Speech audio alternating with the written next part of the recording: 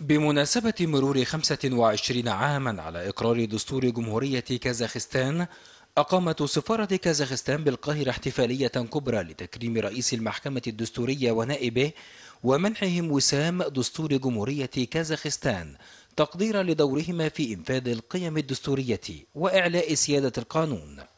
وهو تكريم ليس لشخصي فقط وإنما بصفتي رئيسا للمحكمة الدستورية العليا فهو تكريم أيضا للمحكمة الدستورية العليا المصرية.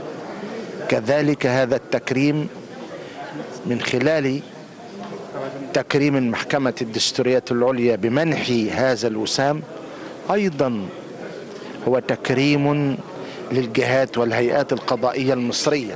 على مدار تقريبا ثلاث عقود من الزمان بنعمل بجدية المحكمة الدستورية العليا في مصر مع إلى جانب المجلس الدستوري الكازاخي والمحكمة العليا في كازاخستان في إنشاء منظومة متكاملة للتعاون القضائي من خلال من خلال آليات متعددة بتقرب بين هذه الجهات. علاقة مصرية كازاخية متميزة بذلت خلالها القيادة السياسية في البلدين جهودا كبيرة لتعزيز أواصر التعاون في كافة المجالات.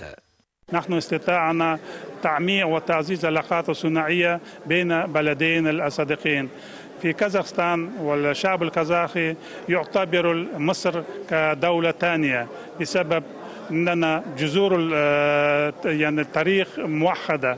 نحن احفاد السلطان الظاهر بيبرز نحن احفاد السلاطين الممالك. كل هذا تاريخكم ونفس الوقت هو تاريخنا. ضيف شرف الاحتفالية المستشار عبد الوهاب عبد الرازق رئيس مجلس الشيوخ أكد أن العلاقات المصرية الكازاخية قائمة على الاحترام والدعم المتبادل. الدولة الصديقة ذات التاريخ العريق والمواقف الإيجابية الصادقة القائمة على الدعم والاحترام المتبادل.